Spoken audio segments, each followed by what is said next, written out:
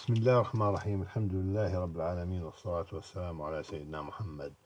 أقدم الدرس الحادي عشر بالاقتصاد الكلي lesson number 11 macro economics في إطار مشروع تعميم المعرفة الذي نقدمه لله ثم لله ثم لله.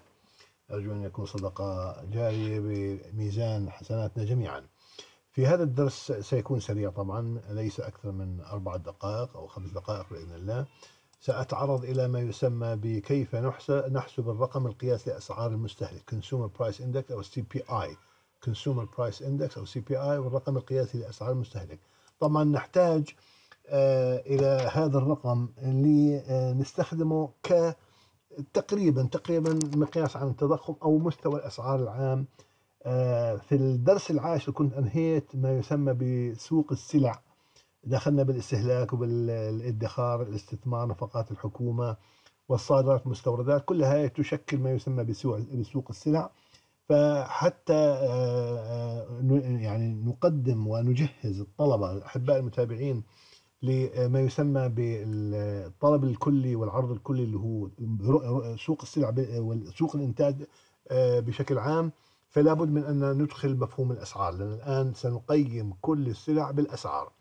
فمن عادة الاقتصاديين أن يستخدموا مؤشر أسعار المستهلك مقياسا لتضخم يعني for inflation على الرغم من وجود مؤشرات أخرى لكن أسعار المستهلك هي الأسهل في التطبيق والأقرب إلى الواقع ومعظم الناس محتاجوها دعنا نضرب مثال على طريقة حساب الرقم القياسي. الرقم القياسي للأسعار طبعا واستنتاج معدل التضخم التقريبي منه. لنفترض بأن سلة الاستهلاك consumer basket في اقتصاد ما بشكل عام عن المستهلكين من هذا الاقتصاد طبعا فرضية بسيطة جدا جدا لكن منها نستنتج يعني كيف نقوم بالعملية على أرض الواقع بتكون صحيحة. فلنفترض بأن سلة الاستهلاك consumer basket في اقتصاد ما تتكون من أربع سلع. نفترض بأنها سلة بسيطة جدا بهدف توضيح مثال طبعا والسلع هي حليب، طحين، ملابس وأحذية، بدنا نفترض هلأ أرجو من السادة المتابعين وأحبة الطلبة أن يعني نفترض افتراض بسيط طبعا. أن الحليب سلعة متجانسة أن الطحين سلعة متجانسة معناها كلياتها آه، على شاكلة بعضها البعض. الملابس وكأنها يعني تشبه بعضها البعض والأحذية كلها تشبه بعض البعض فعندي أربع سلع أريد أن أستنتج منها كيف نحسب آه، الرقم القياسي لها. فلنفترض الآن مثال على ذلك مثال رقمي. نفترض بأن أسعار هذه السلع كانت كما يلي بالدينار. إزاء كل سنة. عندي السلعة هنا في هذه الخانة. سعر آه، سعرها في طبعا السلعة سعرها في العام 2016 كان كما كذا يعني سأوضح آه، بعد قليل. سعرها في العام 2017 سعرها في العام 2018 سعرها في العام 2019 الآن الحليب لنفترض بأنه كان ثلاثة أرباع دينار 75 قرش لكل لتر تقريبا يعني متوسط سعر في 2016 آه، كان السعر أو أصبح السعر في آه، في 2017 دينار لكل لتر. أصبح السعر سنة 2018 دينار و10% من الدينار لكل لتر. وأخيرا سنة 2019 آه، أصبح السعر دينار و35% من الدينار لكل لتر. هاي انتهينا من أول سلعة. السلعة الثانية الطحين. لنفترض بأن كان سعر الطحين بالكيلوغرام طبعا بالدينار لكل كيلوغرام دينار. في السنة 2016 العام 2016 في العام 2017 أصبح دينار و15% من الدينار لكل كيلو غرام في العام 2018 أصبح دينار و30% من الدينار لكل كيلو غرام وأخيرا سعرها أو سعر الكيلو غرام للطحين في 2019 كان دينار ونصف و1.50% دينار ونصف لكل كيلو غرام السلعة الثالثة ملابس. كان الوحدة الواحدة سعرها 10 دنانير في العام 2016 أصبح السعر في العام 2017 10 دنانير و30% من الدينار لكل وحدة. أصبح السعر آه، في العام 2018 11 دينار و30% من الدينار لكل وحدة.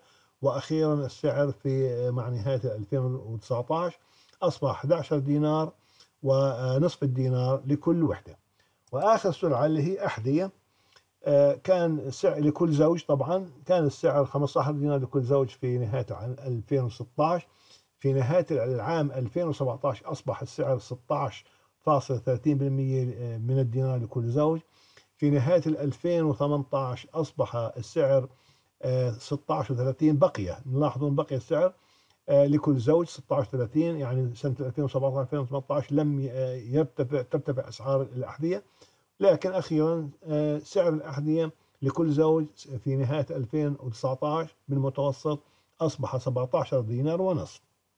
المجموع الآن نجمع يعني أول خطوة بعد ما عرفنا الأسعار نجمع أسعار الأسعار المستهلك التي دفعها. يعني الآن ثمن سلة المستهلك في العام 2016 كان 26 دينار وثلاثة أرباع 26 وثلاثة أرباع دينار آه، السلة نفسها من التي تتكون من أربع سلع حليب طحين ملابس أحذية آه، التي كانت آه، تكلف المستهلك يدفع مقابلها لكل وحدة طبعا 26 دينار وثلاث أرباع دينار. أصبح سعرها الآن أو تكلفه 28 دينار 28 دينارا و75 من الدينار ارتفع السعر في العام 2018 من 28 إلى 30 لاحظون ارتفاع السعر الآن من 26.34 إلى 28.34 إلى 30 مع نهاية 2018 هاي المجموع يعني كلفة السلة لكل سنة.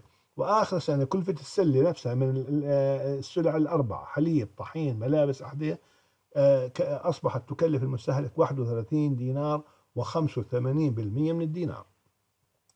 الآن نتمم آه كمثال الآن لابد من اختيار سنة أساس. سنة الأساس هي السنة التي نقارن بها. هي السنة المرجعية نقارن بها أسعار السنوات الأخرى بالنسبة لها. نختار أي سنة لكن عادة نختار السنة الأولى في أي آه هذا. فإحنا حصلنا قبل قليل على المجاميع التالية. المجموع لسنة 2016 26.34 المجموع لسنة 2017 28.34 المجموع لسنة 2018 30 وآخر سنة سنة 2019 كان المجموع 31.85% من الدينار الآن فإذا كان سنة الأساس 2016 هي السنة سنة الأساس 2016 فإن الرقم القياسي للأسعار يكون كما يأتي لكل سنة من السنوات الأربعة. السنة الأولى الآن قسمنا مجموع أسعار كلفة السلة على المستهلك على كلفة الكلفة نفسها اللي هي سنة 2016 ضرب آه، وتساوي واحد صحيح طبعا. الواحد صحيح بنضربها 100% فبتكون بالحالة هاي يعني شيء منطقي إنه كلفة السلة في سنة 2016 تساوي 100% من نفسها من نفسها. الآن ما الذي حدث في السنة التالية اللي هي سنة 2017 لأن الأسعار ارتفعت من 26 75 إلى 28 75 فبنقسم ال 28 و 75 على سنة الأساس قيمة سنة الأساس فبكون بالحالة هاي تقريبا 1.07 آه، ونص. ضربي بالمية وتساوي 107 ونص. بمعنى آخر الآن ارتفعت الأسعار من سنة الأساس إلى السنة التالية اللي سنة 2017 بنسبة 7.5% ما الذي حدث في سنة 2018 نقسم أسعار 2018 كلفة السلة في سنة 2018 على كلفة السلة سنة 2016 اللي هي سنة الأساس. فبكون بالحالة هاي بيعطينا الجواب 1.12 نضربها في 100% وتساوي 112% وأخيرا سنة 2019 ارتفعت الأسعار طبعا آه، إلى 31 و85 لكن بنقارنها بأسعار سنة الأساس فبنقسم إحنا أسعار سنة 2019 على سنة على أسعار سنة الأساس أو كلفه سنة الأساس وتساوي 100 طبعا 1 و19 ضرب 100% تساوي 119% اللي هي ارتفعت الأسعار إلى سنة 2019 نسبة إلى هذه السلعه وبالتالي الآن ارتفعت الأسعار من سنة الأساس إلى سنة 2017 بنسبة 7.5% يعني كأننا نقول بأن التضخم في هذه السنة آه، من سنة 2016 ل 2017 كان بنسبة آه، أو معدل 7.5% آه، الآن من سنة الأساس للسنة 18 للسنة 18 أو يعني اللي هي 2018 ارتفعت الأسعار بنسبة 12% بمعنى كأننا نقول بأن معدل التضخم من هذه السنة إلى السنة الثالثة اللي هي الأولى الثانية الثالثة أو سنة الأساس السنة التي يليها التي يليها وهكذا.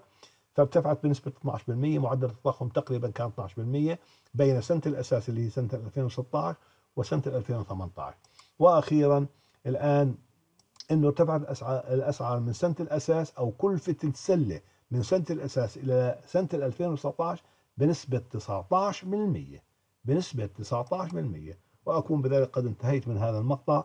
راجيا أن يكون قد قدم الفائدة المرجوة للكل وأرجو من طلبة الأحباء في آه، مساء الاقتصاد الكلي أن يعودوا إلى الدروس العشرة السابقة حتى ندخل بسوق السلع إن شاء الله بفهم ودراية. والسلام عليكم ورحمة الله وبركاته.